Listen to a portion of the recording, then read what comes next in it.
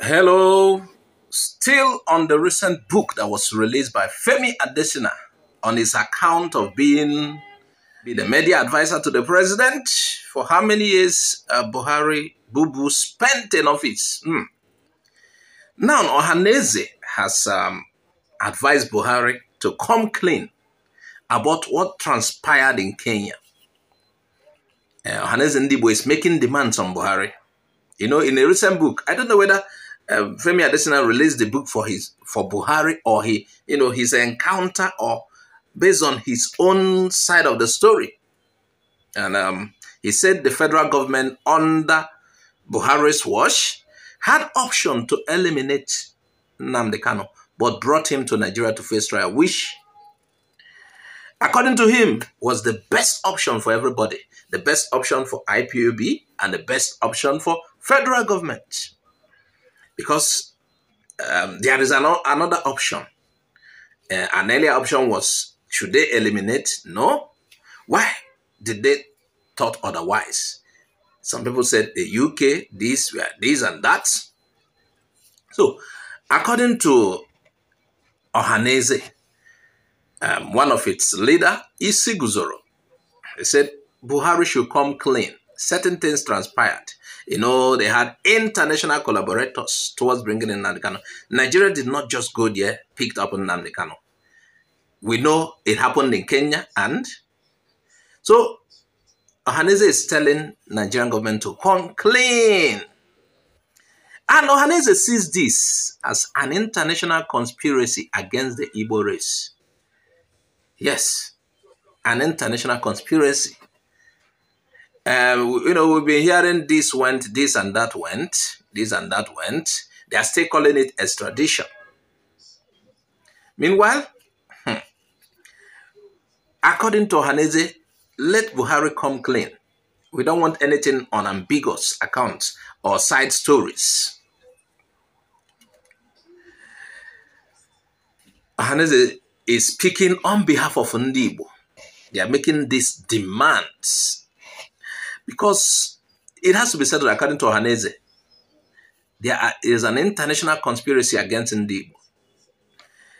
You know, it's, it's as if, I don't know whether there's an, a conspiracy against Ndigbo. That is what Ohanaeze is pointing at. According to Ohanaeze, they initially dismissed this stone-cold international conspiracy theories against the beloved Igbo brethren. However, now read what Hannes says. However, our suspicion have now transformed into certainties thanks to the spine-tingling revelations made by Femi Adesina, the former spokesman for former President Buhari. So you already had that. The other day we shared a material, a video we did about that, um, where they were contemplating whether to you know, killing or now they ended up at, okay, let's bring him to Nigeria to come and face court prosecution.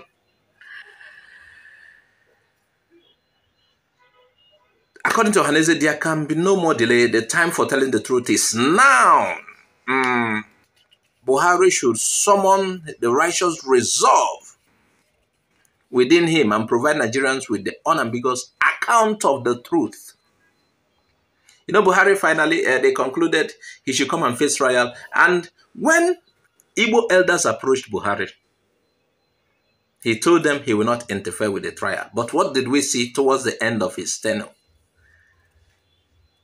Subverting, disobedient to court rulings, rather than accept court rulings, they went to manipulate, move judges away, because those judges have shown them their stand.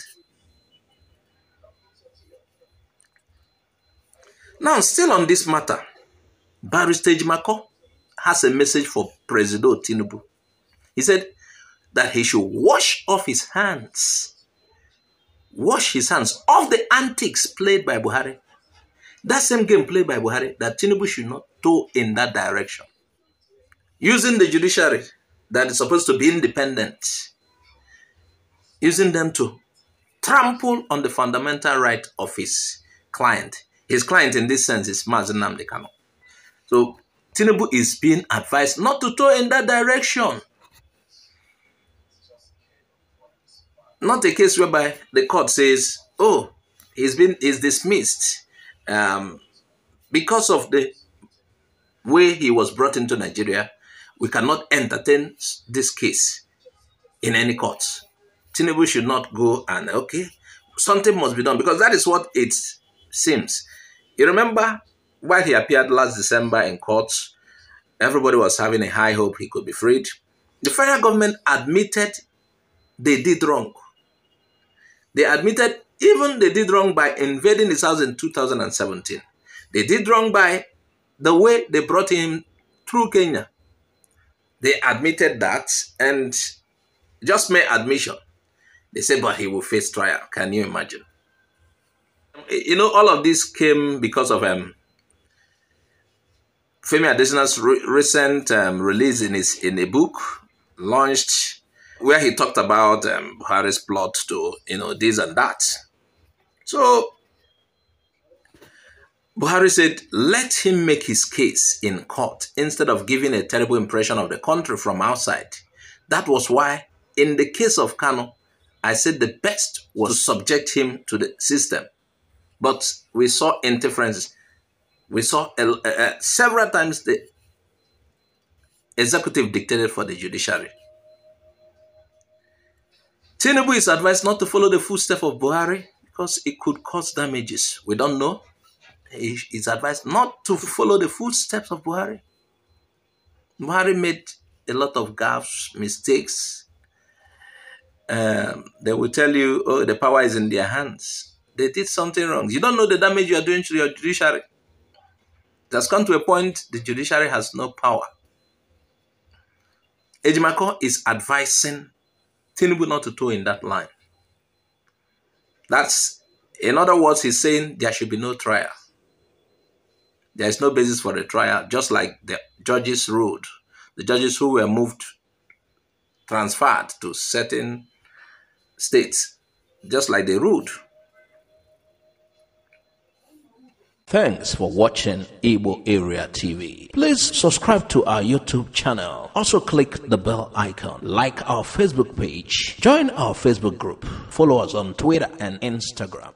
Bye for now.